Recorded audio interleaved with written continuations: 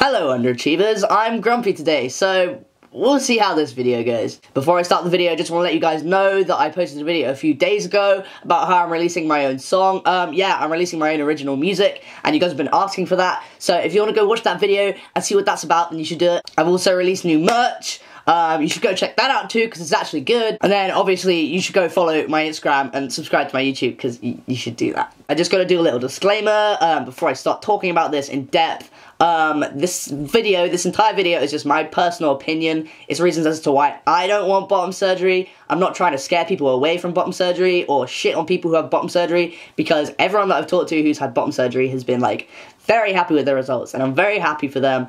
But that's just not the situation that I see myself to be in. And another warning, obviously, I'm going to be talking about like genitals and stuff to do with transition and medical transition. So if you're sensitive to that, then you shouldn't watch this. And if you do watch this after being sensitive to it, you're a bit silly. Um, yeah, so if you didn't already know, um, I'm a trans guy, which means I was born a female, but I'm a guy now, don't worry.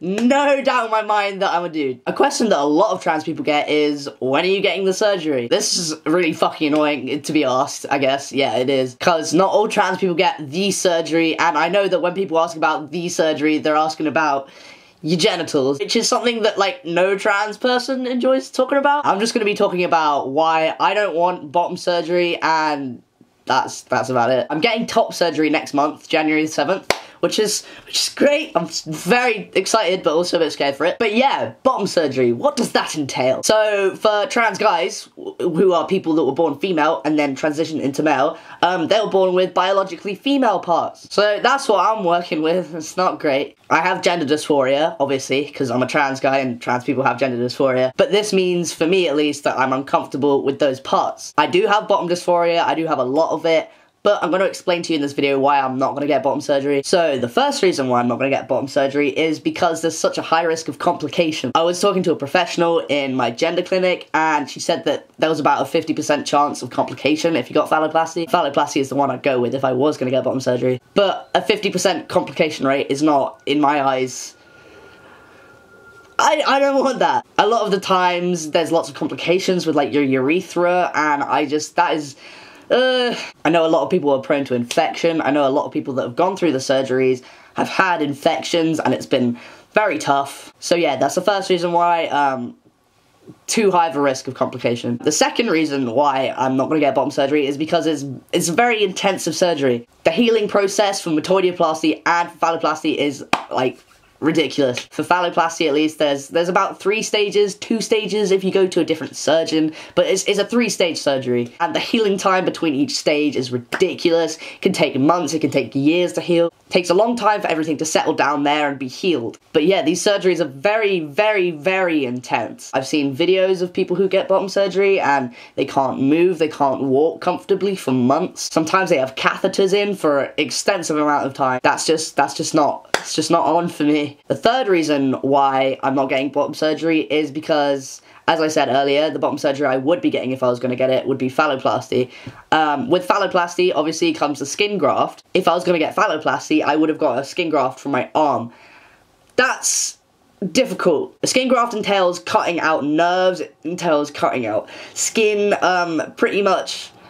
I would be left afterwards with a I don't want to sound offensive, but it, it would be like a deformed arm. It takes a long time, again, for, for that arm skin to heal. And this is obviously just a personal thing to me. This whole video is a personal thing to me. I'm not trying to get people scared of bottom surgery, but for me at least, if I got a skin graft taken from my arm, every time I looked down at my arms, I'd be reminded that I was trans. And every time I went into public, there would be people asking me what happened to my arm, was I in an accident? It's personally just something that I wouldn't want to put myself through. The fourth reason I have for not getting bottom surgery kind of draws on from the idea that there's a lot of complication. Um, I'm not saying I'm happy with what I've got, because I'm definitely not happy with that area. I'm, I'm trans, I'm, I'm uncomfortable around that area. But that being said, what I have works. For me, the pros don't outweigh the cons in that area. I, I think about this a lot. Um, I'm a gay man. Um, I guess this is my coming out as a bottom video, but for me at least, I am a what you'd call a bottom. I don't.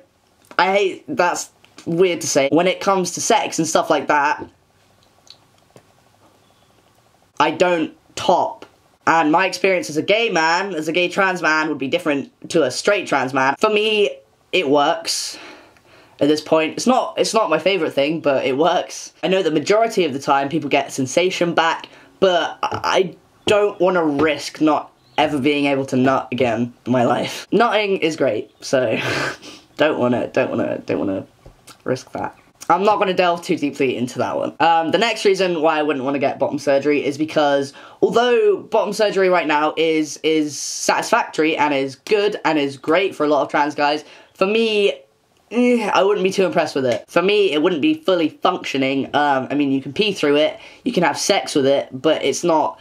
It's not a cis penis. No, for me, if I look down at it, I'd be like, oh, that's not good enough, and I'd be, I'd be dissatisfied with it, which sucks, and that's a personal thing for me. Obviously, a lot of people, uh, most people that I've talked to that have had bottom surgery have been very pleased with their results. They're very happy with it, but for me, I just I just don't see myself in that position. But yeah, I think for now, those are my reasons as to why I wouldn't get bottom surgery. Um, maybe it'll change in the future. I know that if bottom surgery improved and if there was a way for bottom surgery to be done that would not impress me, but would I that I would be happy with, then maybe I would get bottom surgery. But for now, until things are improved, I'm not going to be getting bottom surgery. I think science has the capabilities to improve how they do bottom surgery, but they just haven't. So yeah, uh, that's the video. Again, this is not to try and scare people away from bottom surgery. This is my personal opinion on why I myself wouldn't want bottom surgery. But yeah, that was the video. Hope you enjoyed it in some way. It was not really something to be enjoyed. Um, but uh, yeah, have a good day or don't. See you later, losers.